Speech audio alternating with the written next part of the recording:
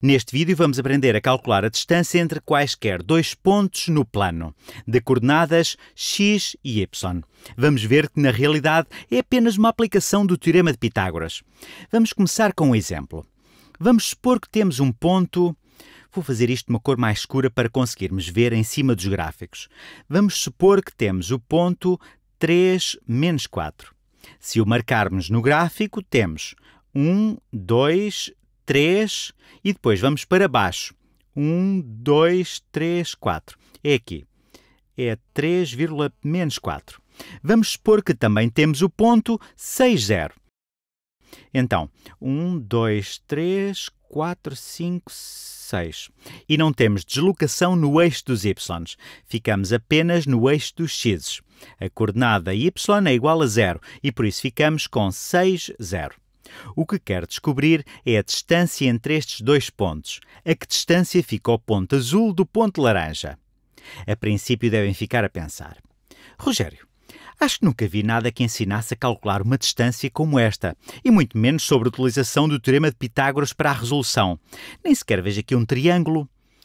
Se não vem um triângulo, deixem-me desenhá-lo. Vou desenhar aqui um triângulo. Assim o melhor é usar várias cores para poderem perceber o objetivo. Aqui está o triângulo. Devem reconhecê-lo imediatamente como um triângulo retângulo. Este é um ângulo reto. A base vai à direita da esquerda para a direita. O lado direito vai à direita de cima para baixo. Estamos a lidar com um triângulo retângulo, o que quer dizer que, se souberem qual é o comprimento da base e qual é a altura, podem usar o teorema de Pitágoras para descobrirem este lado mais comprido, o lado oposto ao ângulo reto, a hipotenusa. Isto aqui. A distância é a hipotenusa. A hipotenusa deste triângulo retângulo. Deixem-me escrever isto. A distância é igual à hipotenusa deste triângulo retângulo. Vou desenhar isto aqui um bocadinho maior. Isto aqui é a hipotenusa.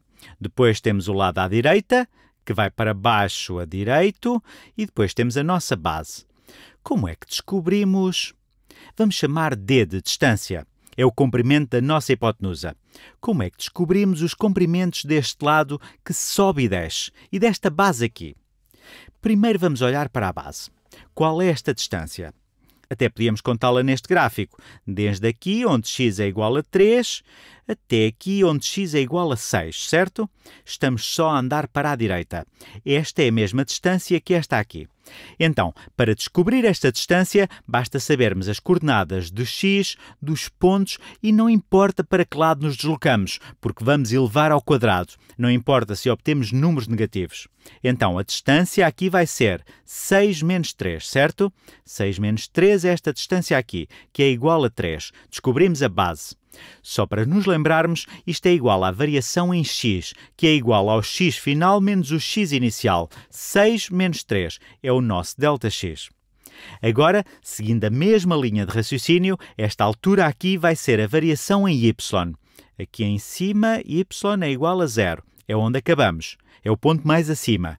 Aqui em baixo, y é igual a menos 4. Então, a variação em y é igual a 0 menos menos 4. Estou a pegar no valor mais alto de y menos o valor mais baixo de y. O valor mais alto de x menos o valor mais baixo de x. Vão ver que vamos elevá-los ao quadrado e, por isso, mesmo que tenham feito ao contrário e obtivessem números negativos, o resultado seria exatamente o mesmo.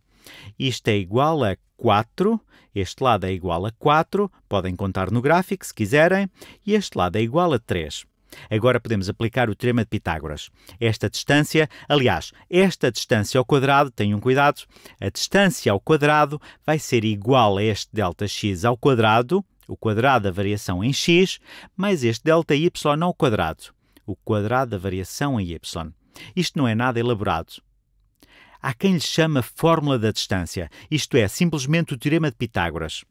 Este lado ao quadrado mais este lado ao quadrado é igual à hipotenusa ao quadrado, porque isto é um triângulo retângulo.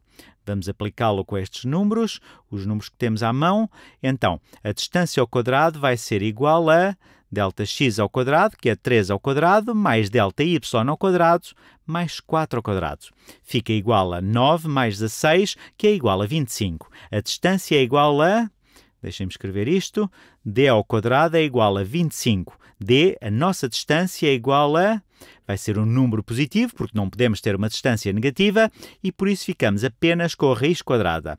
A raiz quadrada de 25, que é igual a 5. Então, esta distância aqui é igual a 5. Ou, se olharmos para esta distância aqui, que é o problema original, a que distância fica este ponto deste ponto? Fica a 5 unidades de distância.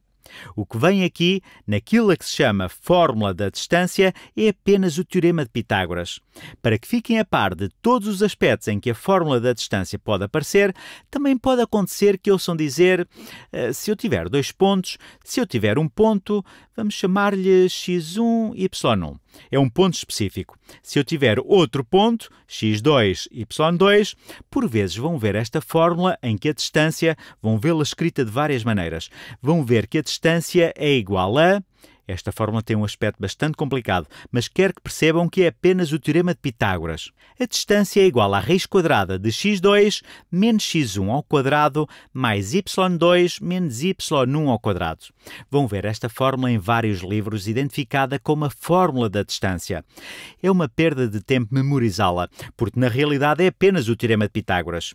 Isto é a vossa variação em x, e não importa que coordenada x escolhem para ser a primeira ou a segunda, porque mesmo que fiquem com o simétrico deste valor, quando o elevarem ao quadrado dá o mesmo. Isto aqui é a vossa variação em y.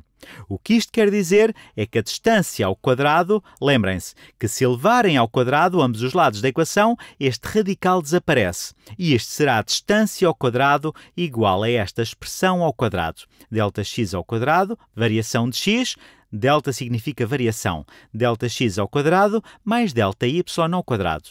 Não quero confundir-vos. Delta y quer dizer variação em y. Provavelmente deveria ter dito isto mais cedo no vídeo. Vamos aplicá-la várias vezes. Vou escolher alguns pontos ao acaso. Vamos supor que tenho, deixem-me ver, 1, 2, 3, 4, 5, 6. Menos 6, menos 4 menos 6, menos 4. E vamos supor que queremos saber a distância entre isso e 1,1, 2, 3, 4, 5, 6, 7. E o ponto 1,7. Vou descobrir esta distância aqui. É exatamente a mesma ideia. Usamos o teorema de Pitágoras. Descobrimos esta distância, que é a nossa variação em x esta distância, que é a nossa variação em y. Esta distância ao quadrado mais esta distância ao quadrado vai ser igual a esta distância ao quadrado. Vamos resolver. A nossa variação em x só precisamos. Geralmente queremos o maior valor de x menos o menor valor de x, mas podem fazer ao contrário. Podemos escrever a distância ao quadrado é igual a. Quanto é a nossa variação em x? Vamos agarrar no maior valor de x menos o menor valor de x. 1 menos menos 6. 1 menos menos 6 ao quadrado, mais a variação em y. O y maior está aqui, é 7. 7 menos menos 4. 7 menos menos 4 ao quadrado. Como escolhi estes números ao acaso, o resultado pode não ser assim tão limpinho como no exemplo anterior. Então, a distância ao quadrado é igual a 1 menos menos 6, que dá 7, 7 ao quadrado, também conseguem ver isto aqui se contarem. Tem 1, 2, 3, 4, 5, 6, 7. Este número aqui é o valor da variação em x. Mais 7 menos menos 4, que dá 11. É esta distância aqui. Podem contar os quadrados. Subimos 11. Estamos a considerar 7 menos menos 4 para obter a distância 11, mais 11 ao quadrado. E isto é igual a d ao quadrado. Deixem-me buscar uma calculadora. Então, a distância, se pegarmos em 7 ao quadrado mais 11 ao quadrado, é igual a 170. Esta distância vai ser igual à raiz quadrada de 170.